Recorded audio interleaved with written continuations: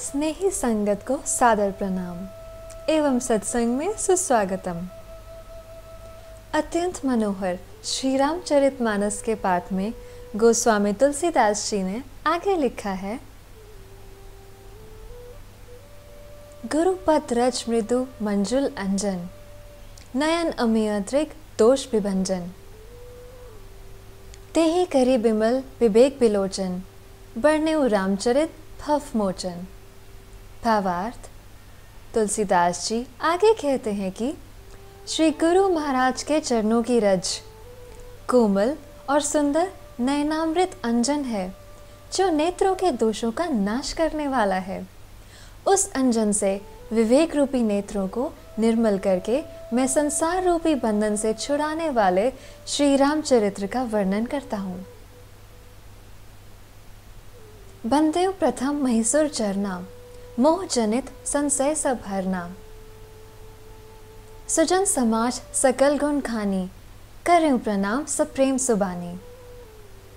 भावार्थ, पहले पृथ्वी के देवता ब्राह्मणों के चरणों की वंदना करता हूँ, जो अज्ञान से उत्पन्न सब संदेहों को हरने वाले हैं। फिर सब गुणों की खान संत समाज को प्रेम सहित सुंदरवाणी से प्रणाम करता हूँ। साधु चरित सुप चरित कपासु निरस पिसद गुणमय फल जासु। जो सही दुख पर छिद्र दुरावा पंतनीय जेही जग जस पावा। भावार्थ संतों का चरित्र, कपास के चरित्र अथवा जीवन के समान शुभ है, जिसका फल नीरस, विशद और गुणमय होता है। जैसे, कपास की डोरी नीरस होती है संत चरित में भी विषयाशक्ति नहीं है। इससे वह भी नीरस है। कपास उज्ज्वल होता है। संत का हृदय भी अज्ञान और पाप रूपी अंधकार से रहित होता है, इसलिए वह विशद है। और कपास में गुण तंतु होते हैं। इसी प्रकार संत का चरित्र भी सद्गुणों का भंडार होता है, इसलिए वह गुणमय है।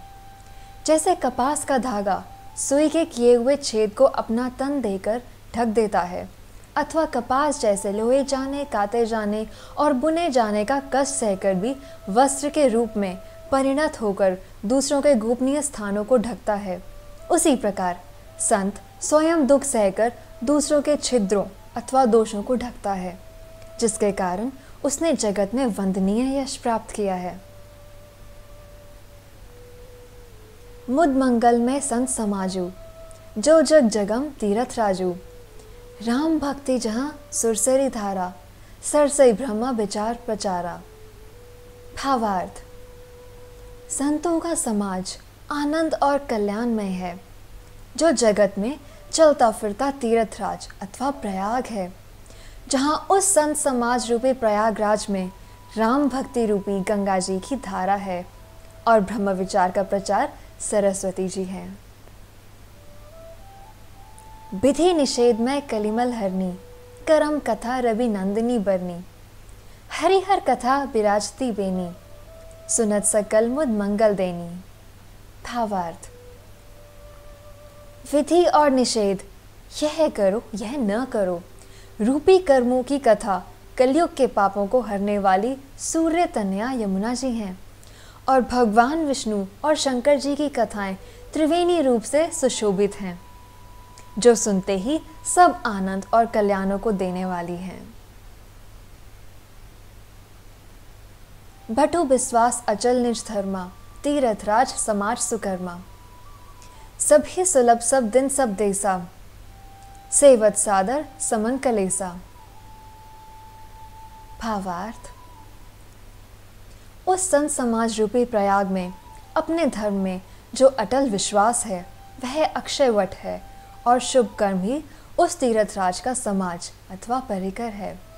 वह संत समाज रूपी प्रयागराज सब देशों में, सब समय, सभी को सहज ही में प्राप्त हो सकता है और आदर पूर्वक सेवन करने से क्लेशों को नष्ट करने वाला है। हमारे साथ इस महत्वपूर्ण सत्समागम में निरंतर मनन कर इसे अधिकतम उपयोगी बनाते रहें। सभी भक्तजनों का जीवन अत्यंत आनंदमय हो।